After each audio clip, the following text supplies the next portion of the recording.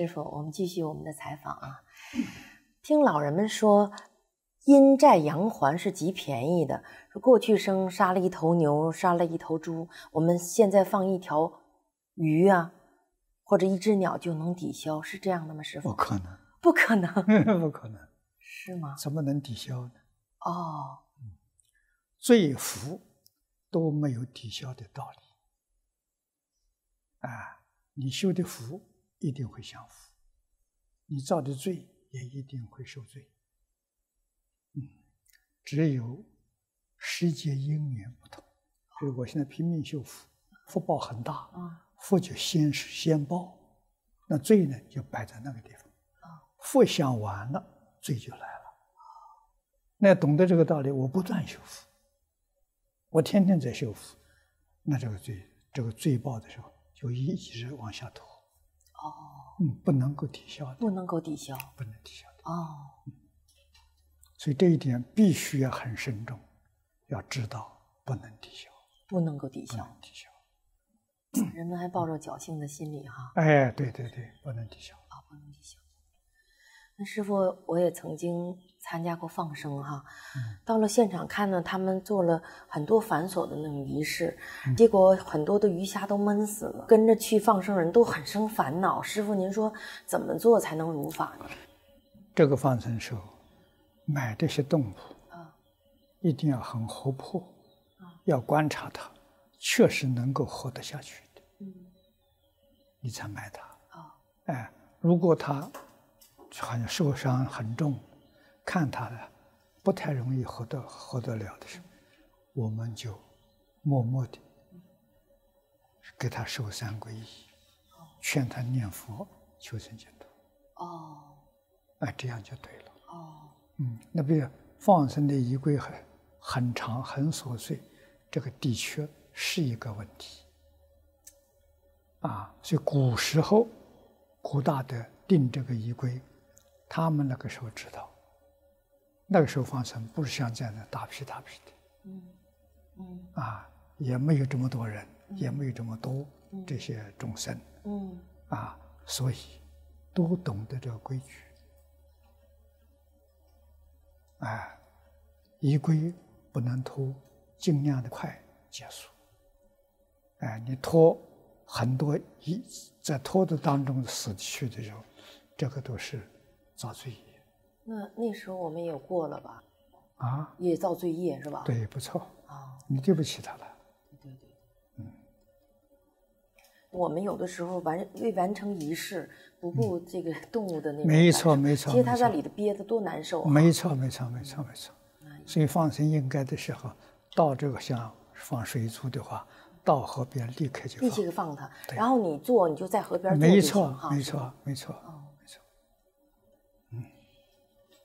呃，我曾听见呃听到一个故事，有人买了一只冻鸡，然后炖了吃了，后来这鸡附体了，对他说：“他说你吃我的肉，我一定要报复你。”后来这个人说就解释说：“他说又不是我杀的你呀、鸡说：“吃是吃，杀是杀，杀我的要报仇，吃我肉的我也得要报仇。”嗯，这这个附体的他的话可信吗？可信，啊，可信，嗯，确实如此，各讨各的债啊、没错。但是就是这些动物也不是完全相同，也不是哎，有的人他专门找杀他的人，啊，啊，像这个是杀的吃的都找，是不是？他都恨，是不是？这个恨心太重。不错，不错，不错，不错。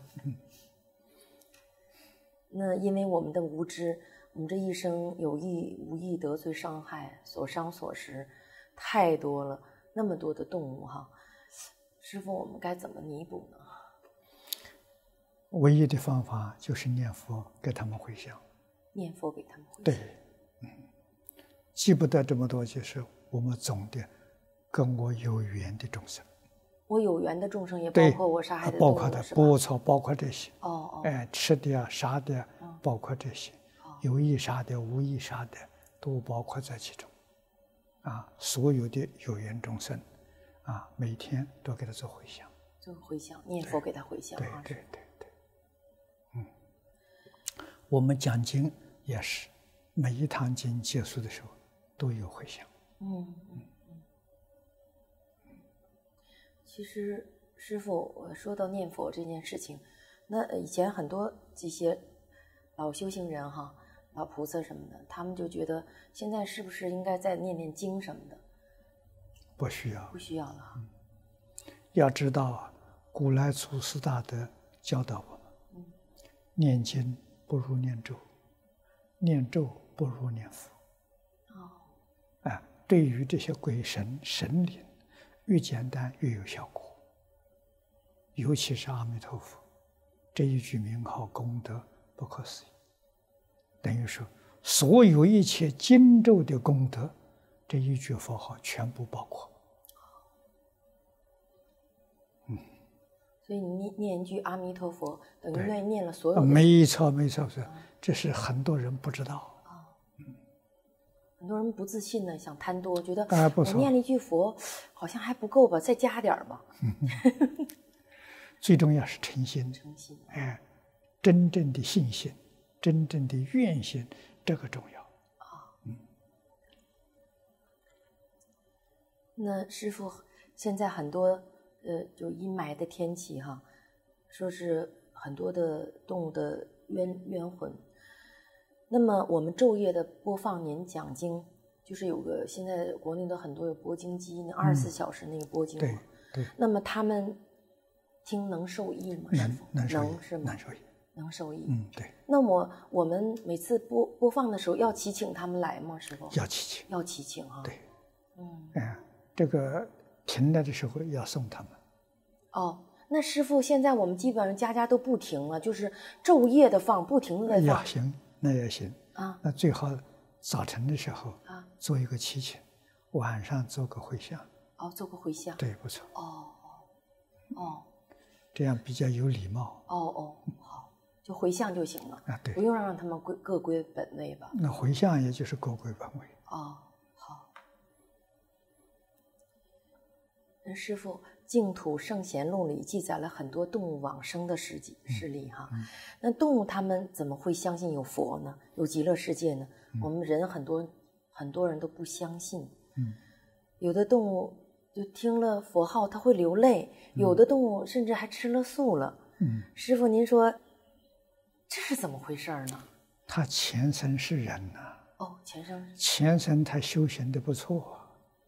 临终一念错了，跑到畜生道去了。他的善根福德都有啊，听到佛号，啊，看到人念佛拜佛，他就感动了。哦，那就那佛号勾起他的回忆了。没错，没错。就阿赖也是记录的那个信息档案。不错，不错，不错。他忽然间吃素，也证明他他前生的因缘。没错，没错。哦，哎。前世都是素食的哦，嗯，所以这些事情如果没有三世因果，你怎么解释？哦，你决定有三世因果。是，嗯，那师傅，那动物它要往生，嗯，跟我们人类一样吗？一样，一样。那它也是莲花化身。莲花化身。对。哦，那它通过怎么念佛呢？它通过它自己的语言，动物的语言吧？没错，没错。哦，没错。那师傅有一次，我记得我们我们去放生，后来那鸟鸟不行了，我就一直拿手里托着它，就我们念佛说，它那个频率跟我们一样。您说那是它是在念佛吗？啊，你的对，也跟我们一起念，那也是在念佛的吗？对，哦。对师傅，我现在知道，就地球上被杀害的动物那么多哈，三千三百零七亿了一年。那这么多动物，那冤气这么重，他们要想报复我们，想制造灾难，或者想要就是让被被他杀害的人，呃，给他制造呃，让他得各种各样的疾病，呃，可能是奇灾奇病，那种就是让他有各种各样的。那种呃病痛啊，有各种各样的灾难给他。那请师傅您慈悲开示，就是动物，我就想在这里，您给动物他们开开示好吗？就是说怎怎么能对他们有利呢？就是这样报复，您说这这这也不是个事儿啊，对，听经非常有利益。是吗？对，啊，而且现在人有的时候真的不如这些畜生，嗯，因为他们造业少啊，人造的也太多太重了，啊，他们有灵性的，不是没有灵性的，堕到畜生道，堕到鬼道，往往过去生中事情他都能记得。所以，决定要用善意，要用慈悲心对一切众生。啊，学佛的人，把所有一切众生都看作菩萨，蚂蚁菩萨、蟑螂菩萨都这么称。因为他对他尊敬，对我们对他尊敬，他听了很高兴，很舒服，从来没人叫他菩萨了。哎，你叫他菩萨，他就不会找你麻烦了。他也不信 对，是。所以我们尊重他，他就会尊重我们，就能够合作。啊，互相不伤，不相妨害。啊，大家在一起共同修行。我们念佛，他也会跟着念；我们听我们诵经听经，他也跟着听。对，听经不哦。对。那师傅您看，那那有很多的这个，他得找他的有缘众生吧？对，是吧？对那万一这个人就杀害过他的众生，他一直跟随他，他也不信佛，他也没有宗教信仰，那嗯该应该让他们怎么怎么办呢？那那就比较麻烦了。啊，那他等着报复啊，哎，他等机会。这个机会就是你的福报衰了，福报享完了，那个时候就报复的是机会到了。他们可不可以这样呢，师傅？比方说，他跟着这人是没有学、没有宗教信仰，但是他，呃，就今天您讲这个 讲这些道理，那么他们明白了，他们可以去寺庙，可以去有的一些道场，他去听经闻法，一一样吧？应该有，哦，有哈、嗯，所以道场都供这些牌位哦，啊，对，就是祈请他们来，啊，没错没错，是不要有分别，非对对要跟着他不可。对对啊哦，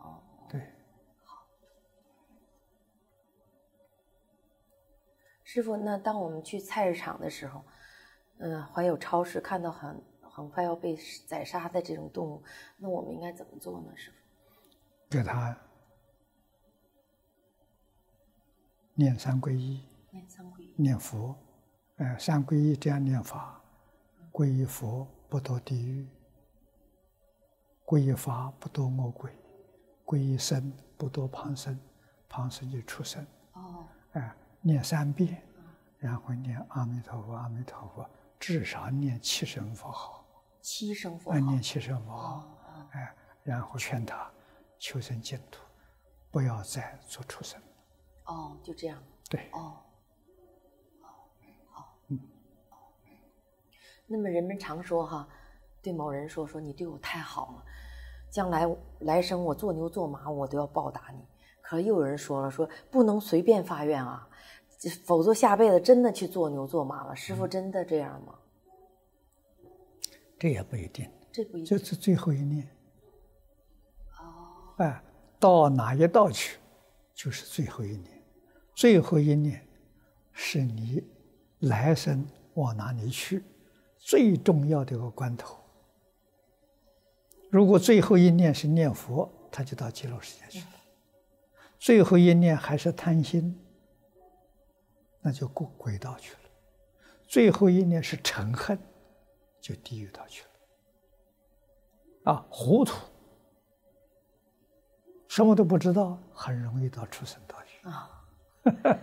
其实我想师傅他也就是一句客气话，真真那个要往生的时候，他要走了临终啊，时候，他对对真的不对对，不知道，绝对不肯不错肯去做做牛做马。对，不错。师傅，我们杀动物的时候，他们那么恨我们，那您讲经的时候，长生说，嗔恨心下地狱。对，那么，那我们杀的那一瞬间，他因为疼痛吗？他他因为恨人类，他也嗔恨心，那一定会因为这个下地狱。那我觉得他太冤枉了。对，他本来受到伤害了，结果他恨心一起也下地狱了哈，师傅。对，对，嗔恨心，所以是就是人类不要干这这种事情。对，是，人类最好是不要吃众生肉。不要吃众生。师傅，那么就是您昨天说释迦牟尼佛看见一窝蚂蚁说，就七佛出世了，他们还是蚂蚁呢？对，那请问师傅，是不是所有的动物都这么执，都都都都是这样的呢？嗯，有执着的，哦也有比较好的，哦，哎，但是执着总是占多数，执着。嗯，占多数。哦。呃，据联合国资料，中国大陆的心脏病和癌症患病率不断急速的上升，在海产品非常丰富的沿海地区，患喉癌呀、结肠癌的人非常非常的多。请问师傅，这是否海边居民他常常的吃水水族众众生所导致的呢？有关系。有关系的哈。那香香港人他最爱吃燕窝了，嗯啊，那一年约合一千七百个七百万个燕燕窝，那这是报纸里登的。对，那么就许多的雏燕就会被杀死。您说，就是采摘燕燕窝和吃燕窝的人会有什么样的果报？都有果报。都有果报，都有果报。对，师傅，那我从小从小我听我奶奶说，如果捅了这个小麻雀的窝，你会妻离子散，家里会破散。您说会吗？这是果报。你你让他妻离子散，你就会得这种果报。哎，不逼他来报仇，这叫性罪。信罪哎，性叫本身，本身这种心念头，这种行为就造罪。就遭罪。嗯那欠债是另外事情，冤冤相报又是一种报应。一桩事情好多种报应在里头啊。嗯，人造作的时候不知道啊，现在人他不相信了。那我们小时候干这种事情，大人教训了、骂了，啊，处罚了。现在大人看到若无其事啊，啊，那么小孩以为干这个是正常的，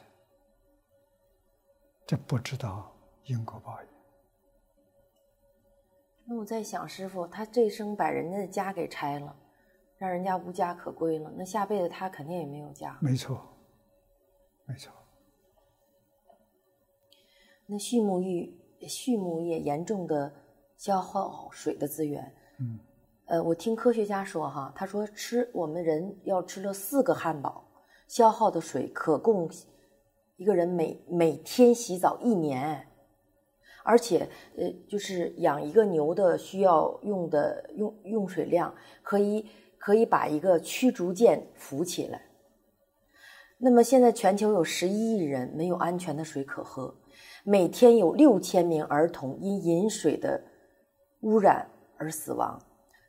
那么，科学家也说，咱们人类哈的牙齿长得就适合吃素。人的肠子是身体的十二倍，与肉呃食草的动物相似。那么食肉动物的肉酸呢是人类的二十倍，所以人类不适合消化这个肉食。对。那么现在你看啊，各个电视台。最火的一栏节目是什么呢？师傅，就美食节目。那个主持人非常那个，哎呀，简直是那个热情高涨的介绍人们这个肉应该怎么炸、怎么吃、怎么好香、怎么那个烹了、炸了，反正就是五花八门的那种 方法各种各样的。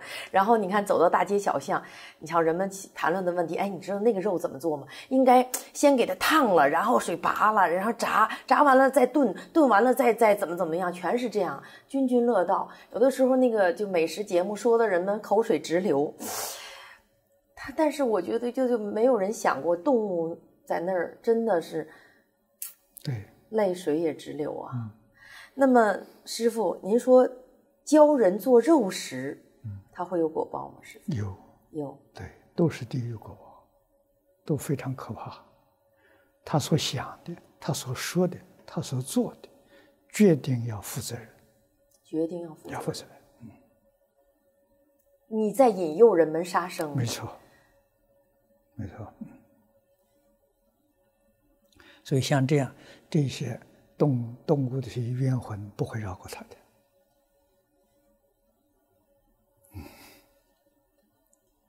师傅，请您跟给我们介绍一下您吃素的因缘。啊，我吃素是我曾经讲过几次。啊，嗯，我吃素是因为知道这个真的状况之后，啊，最初。吃素食，觉得素食很有道理，嗯，就是卫生、为信、为保卫慈悲心。我说这种饮食非常高明，啊，这个一般人没想到，啊，佛能够想到，啊，到以后的时候看到因果，啊，读地藏经。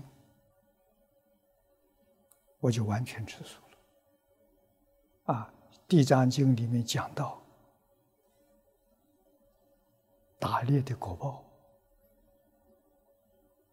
我父亲人是非常好的一个人，就是喜欢打猎，所以我们小的时候早晨清早爬起来就跟他一道去打猎去。那师傅他是猎人吗？啊，他是军人。哦，军军人有枪。军人他管武器的。呃，随着枪子弹就很多了，他他主管这个东西的吧，叫军械处嘛。哦，哎，所以我们家里长长短短枪七八支，这每天都去打猎，所以抗战时期我们的伙食都吃的不错。哦，可是最后国报现前，我父亲死的时候，疯狂死的，就是打猎的国报。啊，看到山就往山上跑，看到水就往水里头钻，所以我们这抓鱼啊，是用那个炸药去炸鱼。哎呦，那可不得了！对呀，那个炸药一放下去，几千条的鱼就翻上来。哎，坐个小船就捞去了。哎呦，拿炸药啊？对，炸药啊。哎呦，这小的时候我们干这个事情的，所以那时候后悔莫及了。我一想的时候，我父亲死那个样子，跟《地藏经》上讲的完全相同，才知道那是果报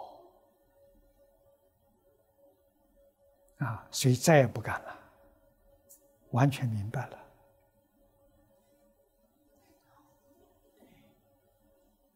那师傅，呃，就我们演员就为了美容嘛，嗯，呃，有的特别就是有经济能力的那种人演员哈。就要每年去那个瑞士打羊胎素，嗯，打完以后就年轻了，然后过了一年再去打，嗯，这样子。那羊胎素，您说师傅就是，就是，据我所知，羊胎素是从那个就是羊啊怀它的小小羊羔那里头都是就是营养它就小羊的，那么抽出来，您说这也会有果报的吧？当然有果报。就你你你你等于把人家的那个最营养的东西弄出来，把弄你脸上了，是吧？对，而且的时候你是可以美几天，但是后果不堪设想。啊，那不是真美，那是假的。哎，那假的不是真的。真的美是什么呢？善心，相随心转嘛。你明白这个道理，何必花那些冤枉钱呢？啊，你的心好，想就好。啊，佛菩萨的像不是美容院化妆的，心善呐。一定懂这个道理呀。啊，身体健康也是如此，心地善良，身体就健康。啊，因为什么？所有带着病毒的细胞，慈悲、真诚，都能把它恢复正常。啊，病毒是不正常的，自私自利不正常，贪嗔痴慢疑不正常。啊，再加上情绪化，怨恨恼怒烦是情绪，这就不正常了。嗯，啊，你的相貌跟身体就差了。嗯。我也有感觉，师傅。以前我我没没吃素的时候，老吃肉嘛，我脸上疙瘩大大的。人家老说我说你好好保养保养你的皮肤，你是个演员，你靠脸吃饭呢，你怎么一点都不在意？哎，这边嘎的起来那个大疖子起来，因为老吃肉嘛。后来呢，吃素了以后，他们都说：“哟，你吃什么呀？”我说：“我就吃素啊。”他说：“你平时还吃什么？吃不吃人参什么？”我说：“不吃，就吃这。”豆腐啊，青菜什么的，而且皮肤越来越细腻了。没错，而且都所有人说，说佳丽姐，你现在怎么那么年轻？我说吃素简直太好了，对，最好的美容。没错，经济实惠。对，没错。当有的时候我劝身边人吃素的时候，有人反问我说：“难道植物就没有生命吗？你吃蔬菜花果，它也是杀生啊。”还有人说说吃肉是。就是给给植物放生，师傅，您说，这 是歪理论，是歪理论啊，错 哦。总而言之，人要有慈悲心，有爱心。你真有爱心，你不忍心吃众生肉。嗯。所以我跟一般人介绍的时候，不说因果。说因果，他们不相信。嗯，他说我威胁他。嗯，啊，我给他讲慈悲心。啊，这个大家都能接受。你懂得卫生重要，微信的没想到，微信的更没想到。对对。经常有人跟我说说你肉也不吃，酒也不喝，你这人生有什么乐趣呢？还活着有什么劲呢？嗯，他觉得就是。就是人，经常很多人说是，呃，有有时候我们请客的时候，就是很多人就说，哎呀，不行，这菜不行，来点硬实的。那所谓的硬实就鸡鸭鱼肉，他们认为这就是有营养的。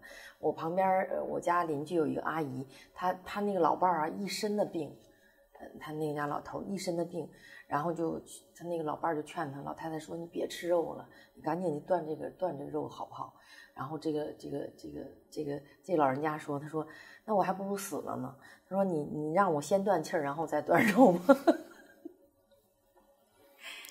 家里人吃素哈，很多人就是老人哈，就说说就对吃素的人说，就是你不吃肉可以，但是你不可以让孩子不吃。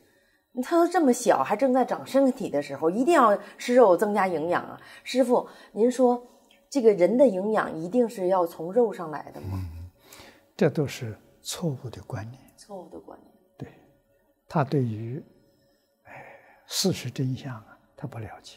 嗯。了解事实真相就不一样了。嗯。嗯，有很多人是胎里素，身体挺健康的。是。哎，那还不是？呃，多多少岁像我们碰到佛法才知道吃素啊！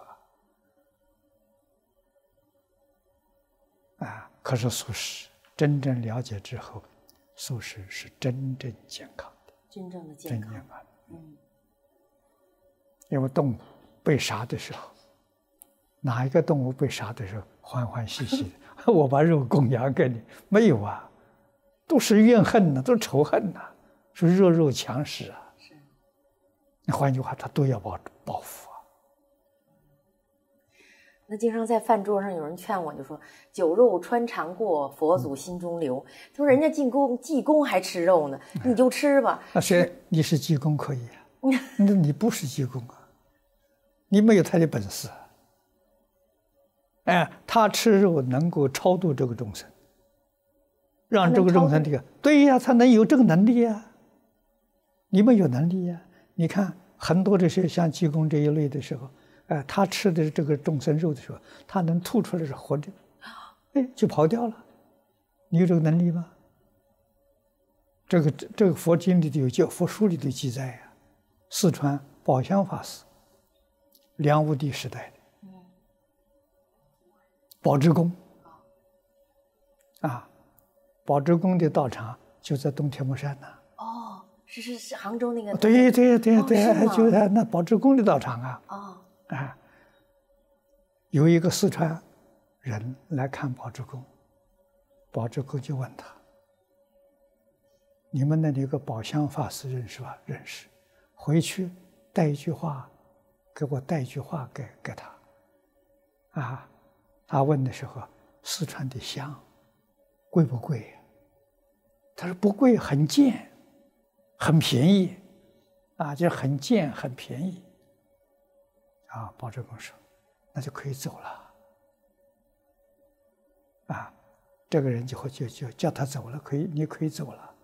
回到四川，就问他有没有见到包志公，见到了。啊，讲了些什么话？他就说问我香，这个就个贵贱，我就说很贱。他就说那就可以走了。宝相法师就圆寂了。那什么意思啊，师傅？宝相法师在那边，一般人瞧不起他，他是真正得道的高僧。哎呀，哎，所以他走的时候也表演了一招，啊，请大家吃饭。那吃饭的时候，有有这些鸡鱼鸭肉都有，他是大吃。吃了之后，庙前面有个方寸尺，他口一张，鱼鸟什么东西。通通就跑跑出来，表演出这个本事啊，大家才知道这个是圣人，这不是不是凡夫啊。表演完之后就就圆寂了。啊，有这个本事可以啊，没有这个本事不行啊。哎呦，啊，这真超度你啊！啊，吃肚子里吐出来活的。哎呀，是是啊。这能力哪儿人？是《高僧传》里头有这么一个故事。南念师傅，师傅，有的人想吃素，也想放生啊，但是会被各种那个逆缘障碍的不能成，做的也极其痛苦。您说这是什么原因呢？啊，这是障缘。障缘哈。嗯，这是就业障，但是自己能坚持，就会突破。哦。前两天我一个朋友跟我说，他他本来就是，呃，费费了很大的劲，然后他孩子吃吃素了，结果到了医生那儿去看病，医生说你可不行啊，你吃素营养不够，你还得那什么，这也是，这是冤亲债主。哦，那个医生是他的冤亲债主。不错不错，他障碍他的善法嘛。哦。那世界上著名的田径天才刘易斯是素食素食者，他认为素食有助于提高成绩。嗯，然后世界上最长寿的地方在中国广西的巴马，那里只能过年的时候杀一次猪，百岁老人的比率是世界上第一。那科学家说，大量的肉食引起人类的粮食危机，粮食短缺，现在全世界生产谷物三分之一都喂养。都在畜牧业上了，那粮食短缺造成的悲剧啊，每天有两万五千孩两名孩子饿死，有十亿人口遭受饥饿及营养不良之苦，有什么好的办法能解决呢？是吗？这也是佛说所说的一句话：除非众生不吃肉。除非众生不吃肉，对，你就用不着拿那么多粮食去喂牲口，是，这就是造成饥饿啊，这个这个灾难的原因。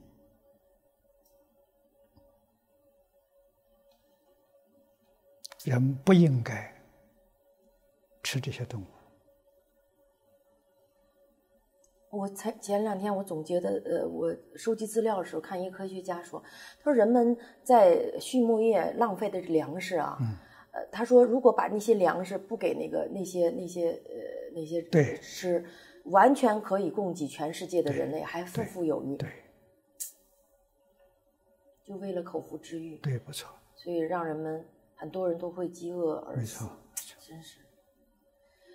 那现在很多人提起二零一二年的玛雅的灾难的那预言哈，很多人有时候看的电影啊，嗯或很多平时聊天的，就有两种表示，一种人说就说你们妖言惑众，怎么老是说这种事情啊？没事儿干了。吃饱撑的呀，还另一种人就说灾难快来了，快点吧，赶紧及时行乐吧，没几天了，该玩玩，该乐乐，使劲造吧。师傅，面对这样的谣言和反应，该怎么办？我们念佛。我们念佛，啊，我们不理会这些事情。这个灾难的呃说法太多了。嗯。啊，嗯。玛雅语音是其中的一种，嗯很多。嗯。我们从各个方面嗯。得到这些信息。嗯，啊，这个信息呢，不管它是真的也好，假的也好，嗯。我们都把它看成有其事。为什么这样看法？提高自己的警觉性，嗯努力念佛，求生净土。啊，等于说我们预知时至了，我们晓得我们哪一天该走了，我一定在这个之前把我的念佛功夫成就，那不就是很好的事情吗？增上缘了。增上缘嘛，那那就不是坏事了。那么有，那么有就更好啊，有也不错啊。啊，所以不必宣扬嗯，啊，宣扬让一般社会大众这心里不安，对对，这个这个不好，这个不是我们应该做的嗯，啊，而是我们自己努力念佛。努力念佛。对，哎，好好的把修行，修行两个字，修是修正，行是行为。修是修正，行是行为。，对我们的行为错误了，把它修正过来，这叫修行。嗯这两个字都搞清楚。现在很多人搞不清楚，误会了。哎，我们的思想错误了，修正过来。嗯啊，这叫义的修行。啊，我们的言语说话说错了，修正过来，口业的修行。嗯我们造作，你看这杀生造作是错误的。嗯我们从此以后不再干这个事情了，这是身的修行。嗯啊，身口意三种不善的、不应该做的，啊，你知道了，通通把它修正过来，嗯这叫修行。嗯，这个很重要。这个哎，你说一般人都知道修福、修慧重要，修慧、修修福、修慧，最大的、最有力量、最有效果的，无过于念阿弥陀佛。这很多人不知道啊。念阿弥陀佛的人，福慧双修啊！福慧双哎，福慧双修啊！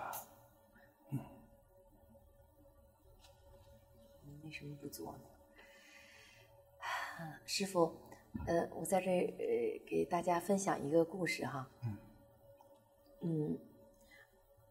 二零零三年十一月二十八号下午，有个刘师傅在菜市场买了一个死的狗，然后就想回家呢，呃，就是带回驾校，呃，要炖着吃。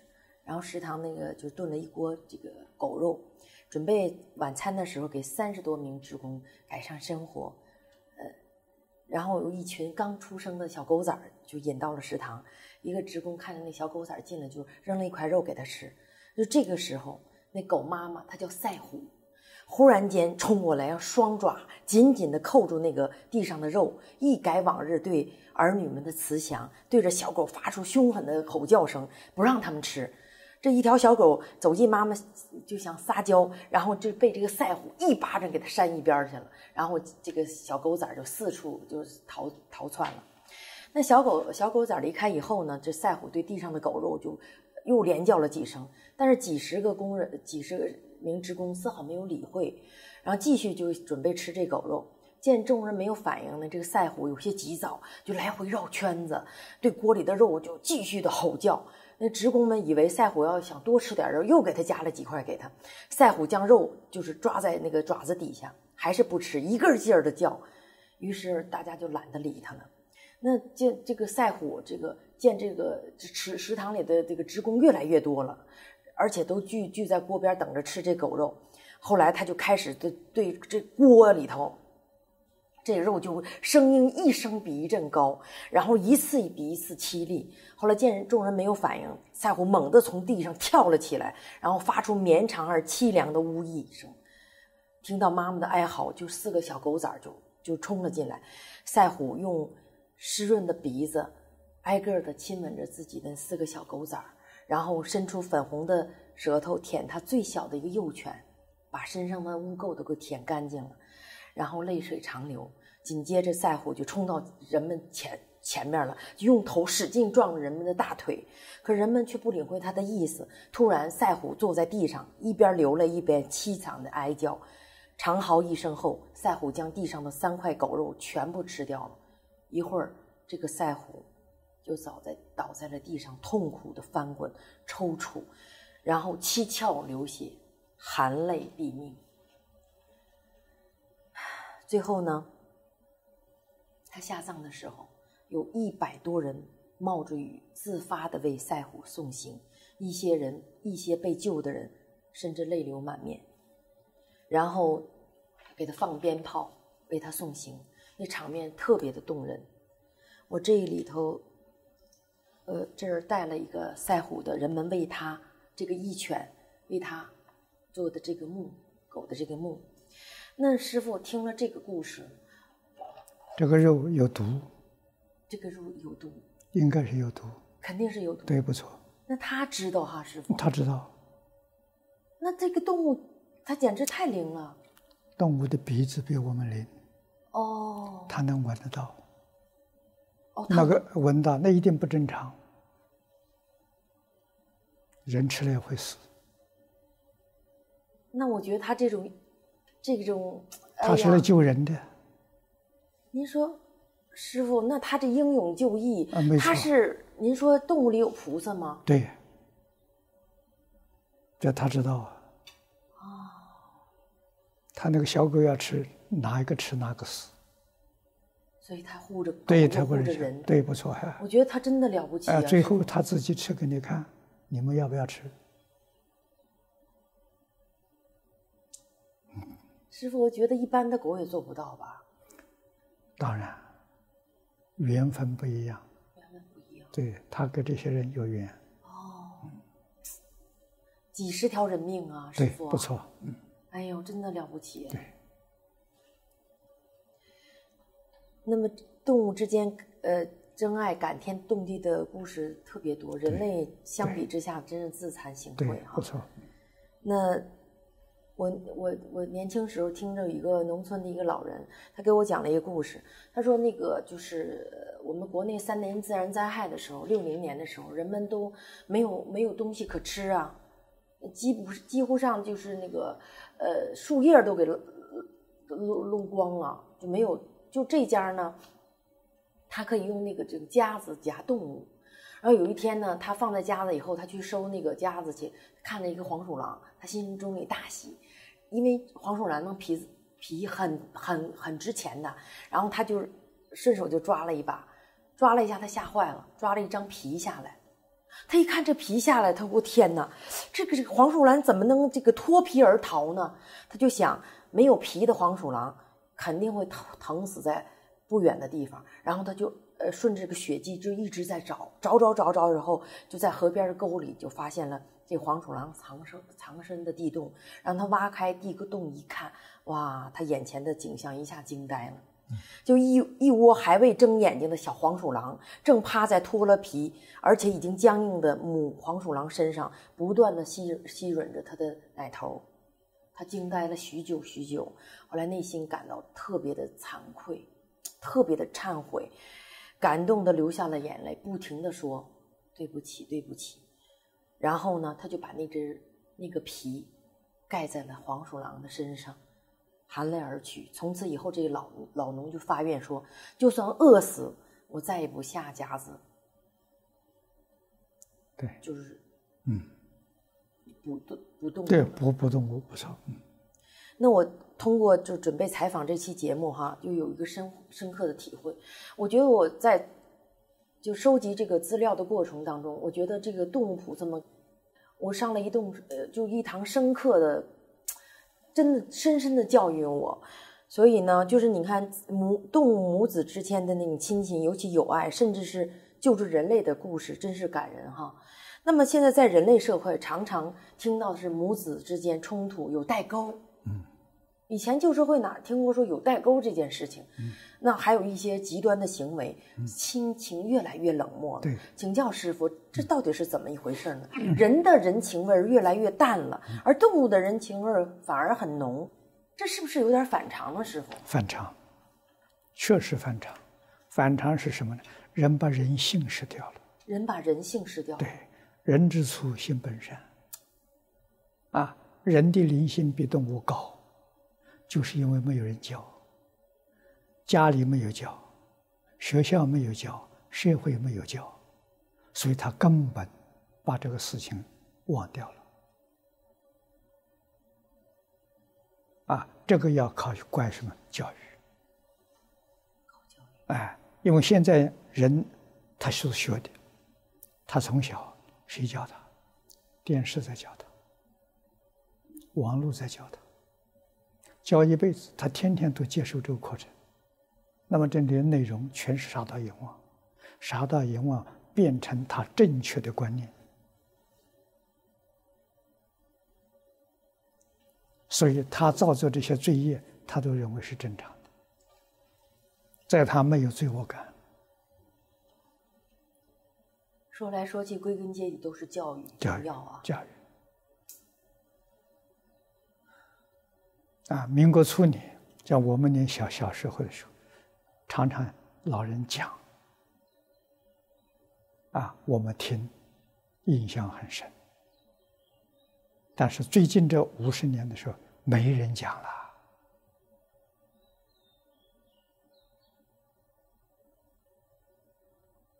啊，那么你就能够想象到了，像我们这样年龄的人，这个犯罪的念头就少。啊，那个时候有有有人讲啊，虽然做的人不多了，可是我们听得耳熟啊。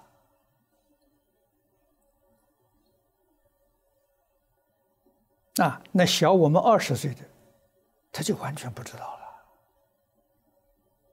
那个时候什么讲的人没有了。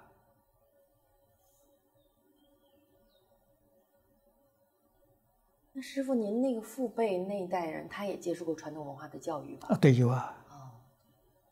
啊，大概是小我二十岁的，完全没有了。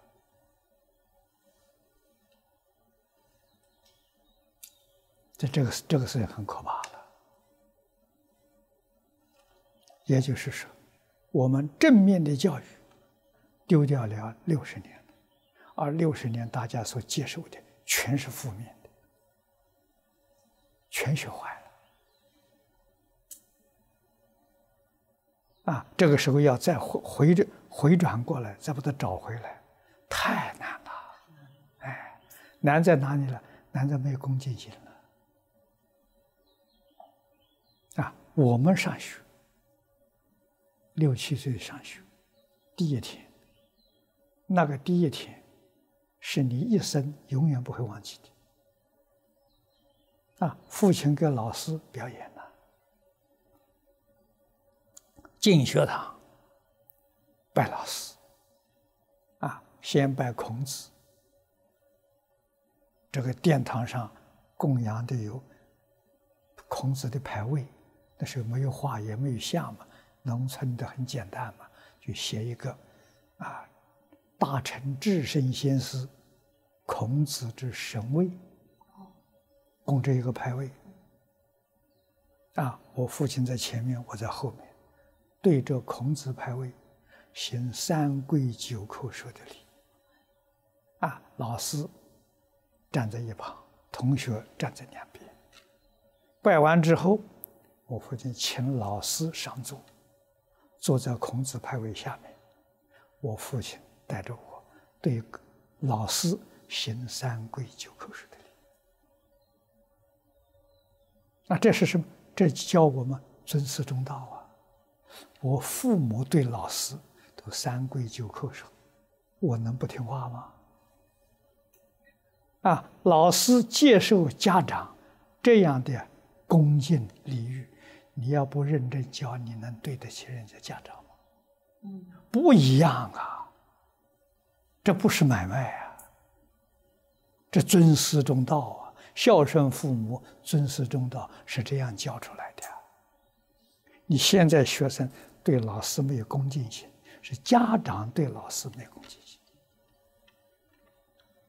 你的儿女就学不出来，因为圣贤之学是从恭敬当中得来的。你有一分恭敬，你就得一分；两分恭敬得两分，没有恭敬心，什么都得不到。从这个地方。你就知道今天困难啊！纵然有好老师，没有学生的，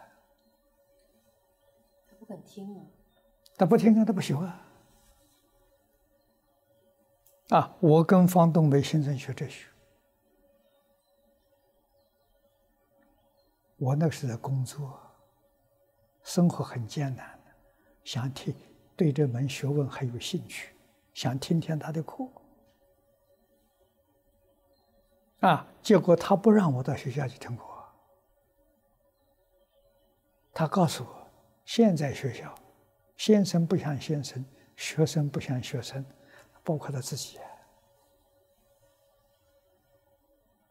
他说：“你在学校听课，你会大失所望。你要真的想学的话，学校没有东西教，老师不教了。为什么？没人学啊。”那老师不真的东西不教了，啊，老师为什么还要上上课呢？为生活啊，拿一点工资回去过日子。学生来念书的时候干什么？混文凭啊，各有所需啊，不是在真正学问上啊。啊，所以我才晓得，老师在学校教也是敷衍，不是真的。那真的怎么？要让我到他家里去，每个星期天专门给我讲两个钟点。我的课是在他家里上的。那师傅，您上方正美先生那儿嗯学习，您您您给他钱吗？没有啊，一分钱没有啊。哎呦，这是什么精神啊，师傅？啊，对，现在人都想不明白。不是，他你真学，我真传你。老师的东西就希望有人传呢。不孝有三，无后为大了。你的东西没有人传，到底就断掉了。世世代代相传了，你要能传下去，那真正想学的人说，那你真教他了。我是从这边学来的，所以我才了解。啊，大学我过去也教过五年呢。五年也是混资格，因为出家人在大学里教书的人不多，是不是？好像那时候在台湾，就是我跟那个华冈有一个有个比丘尼，啊，他那个时候在学校教书，很少。嗯，您真幸运。啊，对，是。所以这就是我让我们完全明白了，啊，老师说这个话很痛心的，真想教没人学，啊，没人学对老师没恭敬心。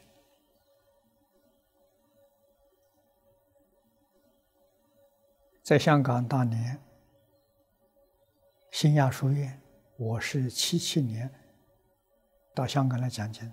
他咸阳书院院长，这是方老师学生，啊，比我们早了，大概早我十几年，是不是？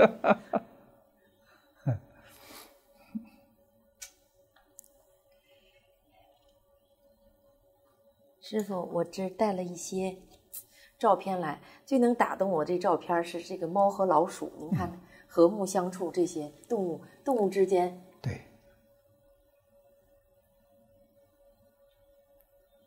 你看，这个这个大猩猩和这个狗，简直是像就，嗯，简直就是有爱，对特别和谐哈，没错，师傅没。错，没错。你看这个这小猴跟这个太平哥，他俩那表情，嗯，哎呦，天 这个很不容易拍到的。很不容易拍到。那您说，师傅，看了这些可爱的小动物，人们怎么忍心能吃它们呢？哈。那我在想哈，就是说师傅，我就想问您，您说人和这个动物能实现和平相处吗？和平相处，本来就和平相处。啊、本来就应该和平相处哈。你说不说别的？我们在国外，国外人不滥杀这个动物，啊，所以外国的小动物见人不害怕。啊，树上小松鼠，你摆几粒花生放在手上，它就到你手上来吃。啊，有爱呀、他知道你不会伤害他。对，不会不会呀。啊，这个就是什么？这已经习惯了，他知道人不会伤害他，所以他不怕人。啊，我们在外国，我的院子里头，鸟从早到晚是不间断的，野生的。我们说摆一个架子，架子上摆小盆，各种啊鸟吃的这鸟食，哎，它就来吃。啊，每天早晚都来。我们要不放东西，它就在那里飞，是吧？就好像在要我们有了没得吃了，就是那里，我们就给它贴，就就就起意邀请他，多好啊！你爱他，他也爱你啊，对，是啊，啊，对啊，动物都是这样的，应该这么和谐的相处哈。哎呀，你只要有颗爱心，对动物它能感受。东方的这个动物不行啊，你一接触它，马上就飞掉跑掉了。它什么呢？人有杀气，他知道这人的磁场不好，啊，赶紧跑。是，我就知道一个故事，有一个人他在海边，经常那些海鸥啊、来在在肩膀上，嗯没错在他手上玩然后有一天他爸知道这情况以后说：“他儿子啊，你能不能明天带回一只海鸥来，让我尝尝美味呗？”他儿子说：“好，爸，我一定答应。”然后他就。自从那以后，站在海边有海鸥，看着他，嗖就跑了。就你说师傅，这个是不是就是因为他这个这个这个起心动念一起，然后这海鸥已经接受他这个磁场，这这是他就不再那什么了。对对对对对，你这个心动的杀杀机呀，啊，这个机缘的机，哦，哎对了，对你有杀的这个念头，他知道，哦，他知道，因为这个磁场不和谐了，不和谐。嗯，不和谐了。那师傅，您说这个磁场哈，我就在您身边，我觉得那磁场简直太好了。其实我是一个特别的那个，就是那种既得利益特别强的人，患得患失。嗯，采访的时候我心直抖，我就第一次采访就是小你不要杀杀害婴小婴灵的那个那个节目的时候，我就腿一直在抖。但是我坐在您身边，我就从来没有的那种感觉，我没无法用语言来形容那种感觉。那您说，师傅，动物它也有磁场有吧？有，是吧？植物都有磁场，哦，动物、植物都有磁场有。您说矿物呢，师傅也有也有。有，哦，嗯，都有。那么我们有的时候就是说，想对动物有一种不好的念头的时候，动物它马上知道。就能接受到了这个磁场，对。互相的那个，对对对，哦，互相发生电波的。你只要有这个捕捉它的念头，杀害它的念头，吃它的念头，它都知道。哦，嗯。那师傅，我想起了，就几年前我看到两则新闻，呃，跟您汇报一下啊。就是一条是一个小老鼠的基因与我们人类的基因排列有百分之九十以上的有相同之处，另一条新闻就是最近的，就是黄河边上的泥土基因居然也与人类的基因有百分之九十以上是相同的。那现在想起这两条新闻，我我我就想请教师傅，这是不是众生一体的一个表法呢？对，确实如此，那人和动物和山河大地都是没一体的，，错一体一体，土都是一体的。土都是一体。哎呦，师傅，我觉得这个这个佛经上讲的很清楚啊。哦，你这个贤首过世的《望经还原观》，我们过去学习过两遍了，都有光碟流通啊。那就是讲啊，宇宙万事万物跟自己是一体，本来是一体，所以没有不能和谐的。所有动物跟自己是一体，怎么能不不和谐呢？连豺狼虎豹都是都是一体。你看这个注解《华严经》和论的李长者李同学，他要注《华严经》，《华严》是大经，给他做一部注解。啊，到深山找个很幽静的环境，啊，结果在路上遇到一只老虎，他就跟老虎讲：“我替《华严经》做注解。”啊，这个山里头有没有好的地方？你带我去，老虎就带他去，带到老虎洞，一窝的老虎，他看到这样确实不错，山明水秀，老虎搬家把洞让给他，感应啊！啊，住在那个地方。他就住下来了，啊，就来了两个女孩子，照顾他，照顾他生活起居，啊，供应他笔墨纸砚，他是专心，思维精益，从来没有跟女孩子讲过话，啊，这一部书注完，时间相当长啊，总要有一两年的时间呢，这华严和论。啊，通通住完之后了，这两个女孩子不见了。他以为是农村里头去，下山呢就感谢感谢人家了，找不到了。啊，问那个邻居说：“是长得什么样子？”说：“我们这没有这种人啊。”说感应不可思议，那不是短时间的。哎呀，那么长的时间照顾他。啊！但是你晓得的，心多清净，没说过一句话。哎呦，这个这个故事，在他序文里头哦，写在序文里。这两个女孩子是？那不是不是凡人了。那师傅，现在目前中国因为过度的放牧已经。引起十三亿土地的退化，还破坏了水源的个涵养功能，草原将在三十年之后变成不毛之地，成为荒原、荒漠。那么十五万的牧民将成为生态难民，只因为我们吃这个肉。那么现在全球很多地方出现大面积的干旱，请问师傅，干旱是什么原因造成的？这是众生的恶业、不善的念头、不善的行为所造成的。干旱跟水灾是同样的道理。对。哦。干旱跟水灾是一样。同同样的道理。嗯。所以，人对这个灾难，不能把它看成。单纯的自然灾害，啊，这是在理上讲不通的，啊，为什么呢？佛经上讲的，整个宇宙不外乎两样东西，一个是色，一个是心。这个色是物质，我们今天讲物质现象。佛法用个色，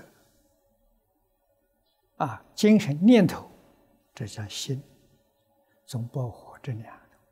但是，色有心生，色从哪来的？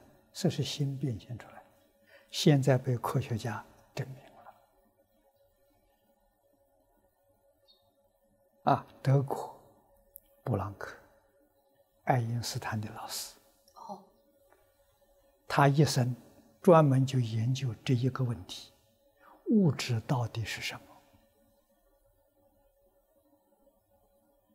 啊，他发现了，物质是意念变现的，用的方法是跟佛经上讲的一样。佛经说这个用分析。啊，经典里面的比喻，牛毛尘，牛毛很粗啊，牛毛尖端上有一粒尘，一粒尘土，它不会掉下去，好像吸在上面了。那个小的微尘，这一类微尘呢，把它分成七分，七分之一呢叫羊毛尘，羊毛尘再分七分之一呢叫兔毛尘。就更小了，兔毛尘七分之一叫水尘。水尘这一一个物质，在水水有空隙，里面有空档，它转来转去，它没有障碍。啊，水尘七分之一呢，就叫金尘，金属。金属密度虽然大之大，在显微镜的下面去看，它还是有很多空隙。啊，从那里说它没有障碍。金尘七分之一。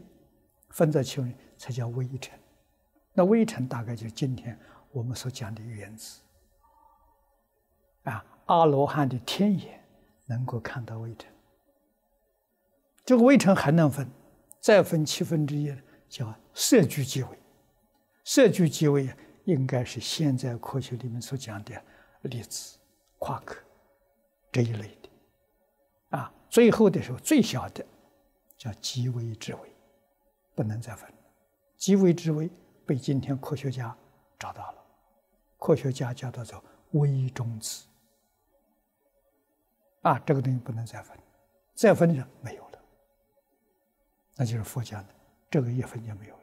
没有了是什么？看到什么呢？看到是念头的波动现象，这样才晓得物质上是什么回事情。物质是我们念头的副产品。它不是真的，所以他下了一个结论：根据他一生的研究，世界上根本没有物质这个东西，物质是假的，不是真的。啊，物质的基础是念头。啊，所以佛经的时候呢，色有心生，最后总结：全体是心。全体心全是念头，整个宇宙是我们念头。变现出来的全体实现，全体实现啊，是全体实现，就是全体都是意念。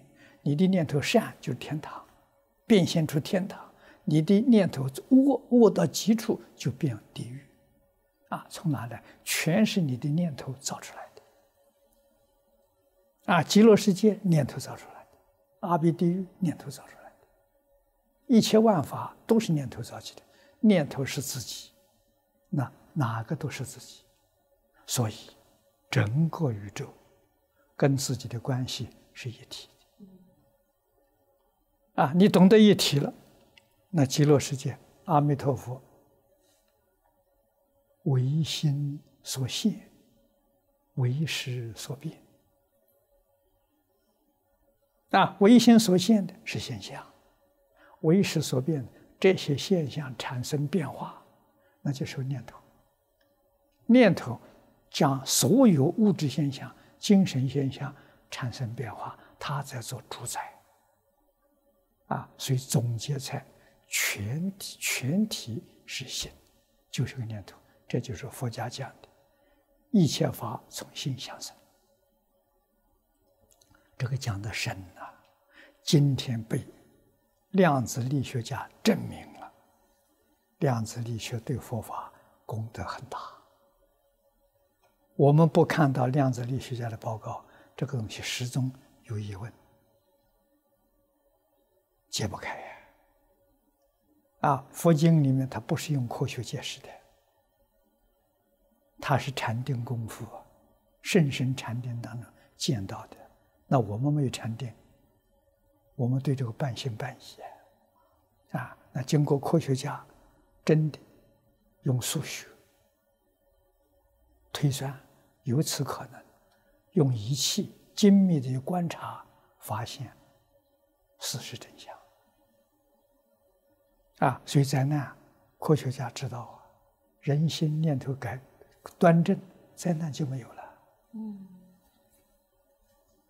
啊，你身上还得重病的时候，这个病，如果你还有寿命，寿命到了没办法了。还有寿命的话，你这病肯定会好。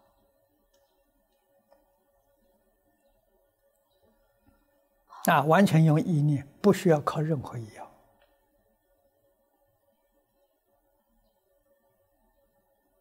啊，所以一切与自己是一体。真正是一体了，我们才晓得，我们接受任何的伤害，不埋怨。为什么呢？牙齿咬了舌头了，舌头咬破了，舌头要不要报复？一体嘛，受什么样的冤枉都没事。为什么呢？一体，我知道，他不知道。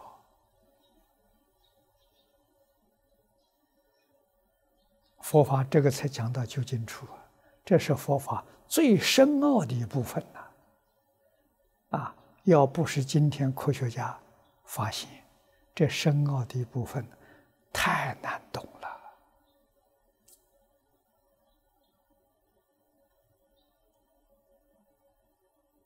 啊，确实承认整个宇宙是我一体，所有一切自己负百分之百责任，就是念头。要想一切都完美，念头好。不能有我念啊！伤害我的人、杀我的人、吃我的人，也得原谅他。啊，众生都是凡夫，他都不懂啊，不懂才产生怨恨、产生报复啊！这个怨恨、报复错误的，一笔勾销是对的。啊，顺境善缘不起贪念，贪念是烦恼。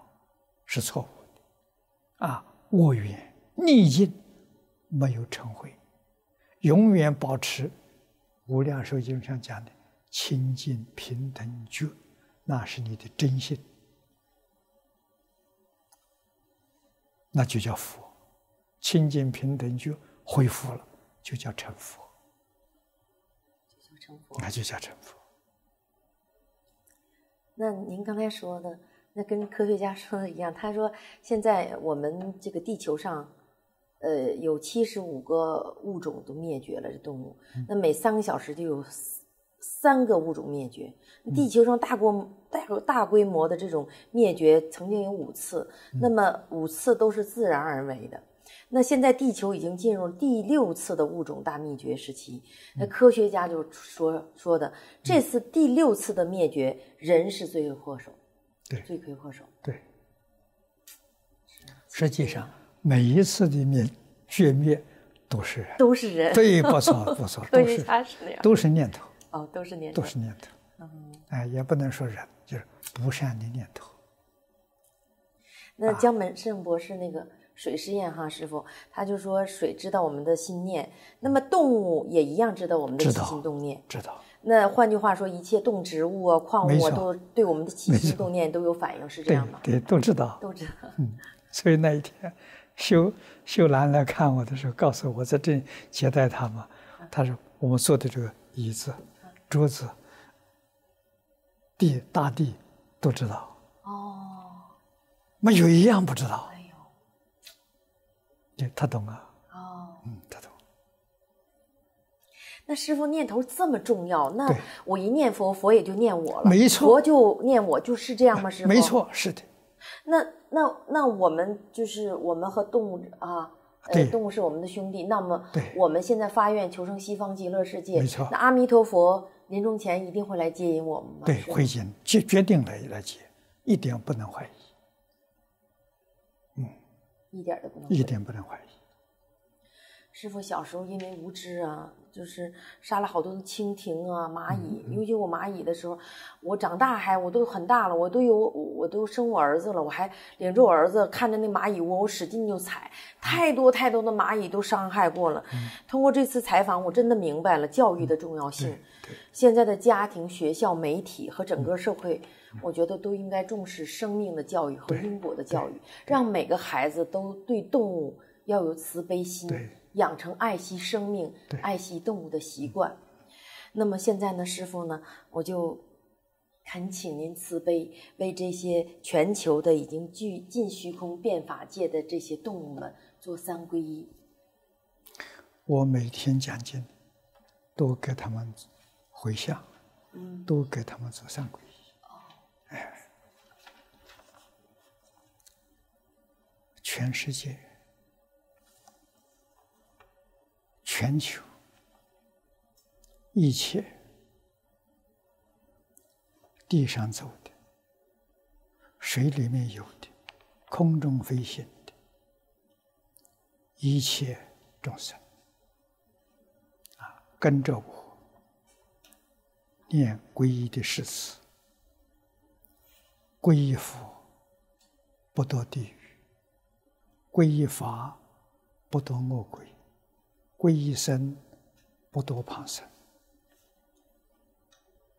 皈依佛，不堕地狱；皈依法，不堕恶鬼；皈依僧，不堕旁生；皈依佛，不堕地狱；皈依法，不堕恶鬼；皈依僧，不堕旁生；皈依佛经，皈依法经，皈依僧经。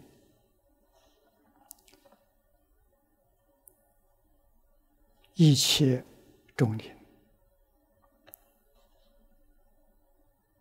皈依佛法之后，一定要发现发愿、是学发藏、是敬生起，以佛为师，与佛交接，信受奉行。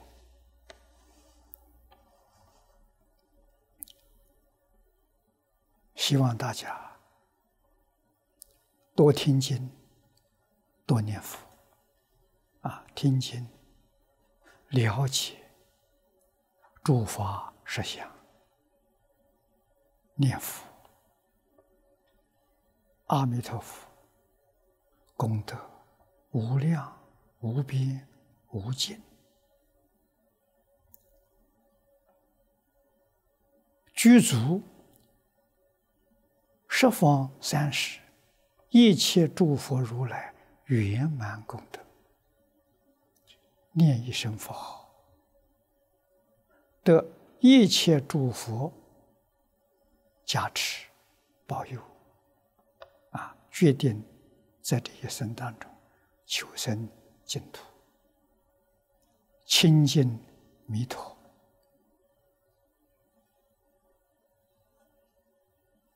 圆成佛道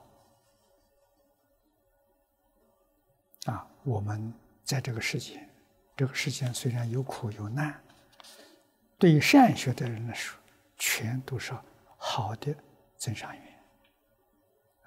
我们一同修行，互相敬爱，互相关怀，互相照顾，互助合作。啊，做一个真正的善友，同成佛道。今天是二零一二年四月二十二日，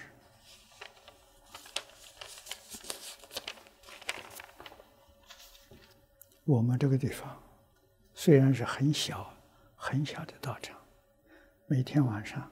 都给一切众生做幽冥界三皈依。尊敬的师父上人，请允许我代表社会大众，代表动物菩萨们，至诚的感恩您，谢谢您，师父。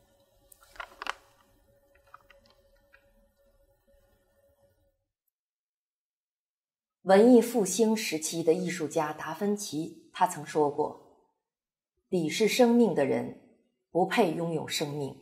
人的确是禽兽之王，他的残暴胜于所有的动物。我们靠其他生灵的死而生活，我们都是坟墓。”我在很小的时候就发誓再也不吃肉了。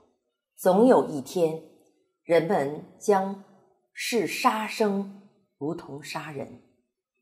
那还有一位剧作家叫肖伯纳，他曾说：“动物是我们的朋友，我不吃我的朋友。”借此因缘，我在这里深深的忏悔。我也代表全球乃至尽虚空变法界一切有意无意伤害、杀害过动物的众生，真诚忏悔。我们诚恳的向被杀害的动物菩萨们说一声对不起，我们错了，请原谅我们。每一个动物的生命都和我们自己的生命一样，有血有肉有灵性，任何生命都有生存的权利。在此，我们真诚的期盼每一个人。都能公平的对待每一种动物。天生万物，慈悲为怀，我们不能再杀害动物了。俗话说：“病从口入，祸从口出。”别让我们自己的胃成为动物的坟墓。同时，我们也期盼每一个人都能对地球母亲负责，将真相公之于众。共同拯救我们的家园，因为地球是我们大家的。